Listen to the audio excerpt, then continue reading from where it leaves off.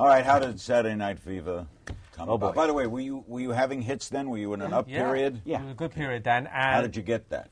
How did that? we were mixing a live album in France, and Robert called and said, Stigwood. Stigwood, Robert Stigwood called and said uh, he'd seen an article in the New York Times called "Tribal Rites of a Saturday Night," written by Nik Cohn, and he wanted to turn it into a movie, and and, and, and, and was turning it into a film at that time with John Travolta. Uh, but but they hadn't had the, they hadn't had the music at, at that point and wanted to know if we could take time out from mixing the live album and sit down and write some songs. We said, well, we can't do that because we're writing our new album. We've written five songs already, but you can listen to those if you want. We'd written "Staying Alive," "Night Fever," "How Deep Is Your Love," "If I Can't Have You," More Than a Woman. and "More Than a Woman."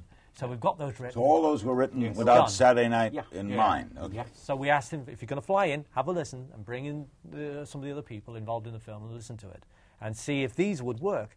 So they came in and they liked the music and mm-hmm. took it back and they made and we didn't see the film for another six months after that when it came mm. out. Where were you when you saw it, and what did you, how did you feel? In? LA with John. Yeah, the Grease wrap party. Uh, there was a wrap party for Grease, and when we went Grease into was after. No. no, when we went in to see Yeah, the but Grease screening was of- after Fever, Mo. No, but there was a wrap party for Grease.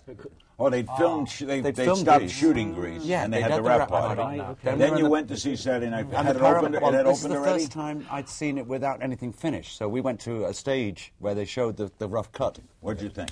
I thought it was very nice. Why did people get mad at? I think towards the end, it was- musicologists got Yeah. mad at disco. But mm. disco, you see, disco to us was KC and, and Donna Summer and, and Village People. That kind of thing was to us was it was party music, good fun. You know, so our stuff we never regarded as that until the film came out.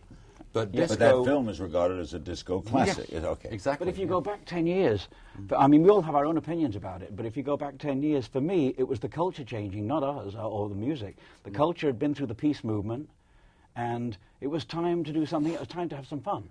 I think we, everyone had been so serious with the caftans and the beads and the peace, and, and that seemed to evaporate. And, and then suddenly there was a, a void where nothing was going on.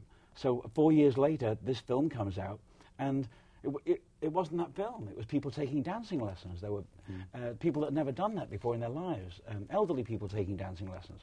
Uh, so it was a, it, for us, it was a culture thing. It wasn't uh, necessarily We never, we'd film. never even heard of the word disco until the even went to media. clubs. No, we didn't go to. And we, those people starting to use the word disco was kind of alien to us.